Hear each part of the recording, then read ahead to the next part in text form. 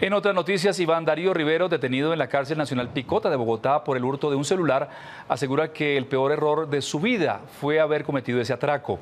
Hoy, tras un año de prisión, padece meningitis, VIH, se encuentra sordo y perdiendo la visión. Esta es su historia. Iván Darío Riveros, de 31 años de edad, robó un celular en el año 2014. Fue capturado y procesado por hurto agravado. Su pena fue de tres años y siete meses. En ese instante no imaginaba que su vida cambiaría de una manera tan radical. Atacé a un muchacho y le quité su celular de un monto de un millón y medio. El muchacho me colocó el denuncio y colocó una indemnización de medio millón de pesos, pero yo no la pude cubrir. Estando en prisión se enfermó de meningitis, una enfermedad que lo llevó a la sordera y con riesgo de perder la voz y la visión.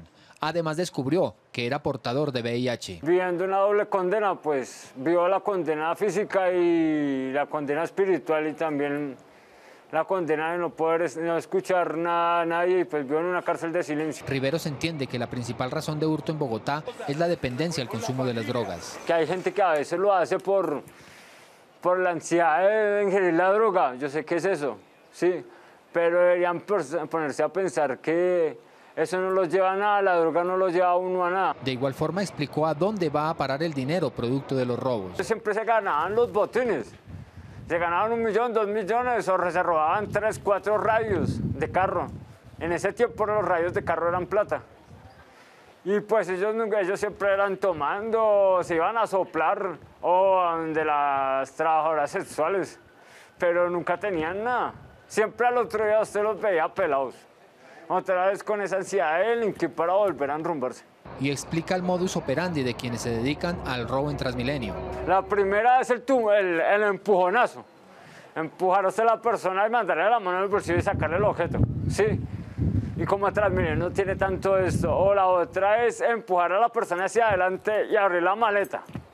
Esperar el otro empujonazo y sacarle el objeto. Sí.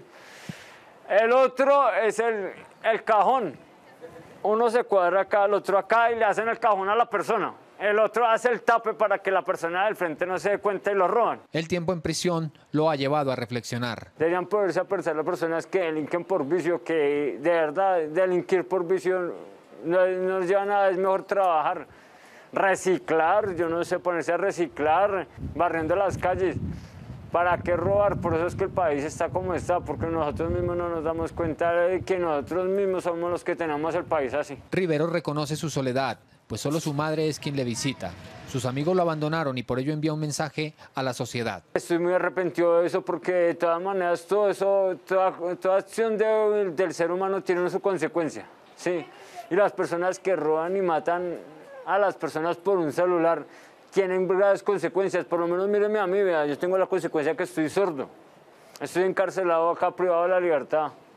Deberían ponerse a pensar que por una, por una bicha, por un bareto, por un perico, matar a una persona no vale la pena. Ustedes no saben el sufrimiento que le pueden dar a esa persona al, negarle la vida y a la familia.